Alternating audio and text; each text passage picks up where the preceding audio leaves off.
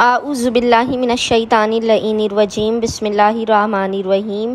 السلام علیکم یا علی مدد۔ مومنین و مومنات کی خدمت میں اسم اعظم کا آج بے انتہا مجرب اور جلالی ترین وظیفہ عمل لے کر آئے ہیں۔ اسم اعظم کے اس مجرب ترین وظیفہ عمل کو مومنین نے خصوصی طور پر انیس سفر نائنٹینتھ آف سفر کے پورے دن میں کسی بھی وقت نصف شب تک کر لینا ہے۔ خدا وند متعال بحق محمد اور آل محمد اس جلال اسم اعظم کے صدقے میں مومنین و مومنات کی ہر حاجت کو اپنی بارگاہ میں قبول و مقبول کر دے گا۔ ہر بلا مصیبت آفت پریشانی اور ناگہانیوں کو ان کی زندگی سے دور کر دے گا۔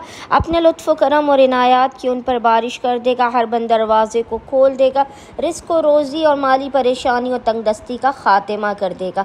بس مومنین و مومنات نے کرنا یہ ہے کہ آج کہ انیس سفر نائنٹینتھ آف سفر کے پورے دن میں کسی بھی وقت نصف شب تک جب بھی آپ کو فرصت کے لمحات ملے، آپ نے باوضو ہونا ہے۔ اور باوضو ہونے کے بعد آپ نے قبلہ رخ بیٹھ کر محمد اور آل محمد پر۔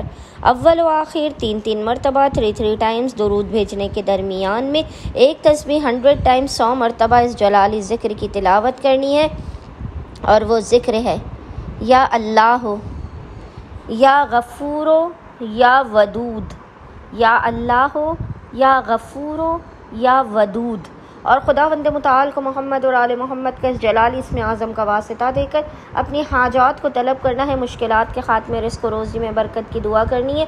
ان شاء اللہ تعالیٰ خدا وند متعال و حق محمد اور آل محمد اس جلالی اس میں اعظم کے صدقے میں مومنین کی خالی جھولیوں کو بھر کے انہیں بامراد کر دے گا۔ اللہ صلی علی محمد و آل محمد واجل فراجہم اجمعین۔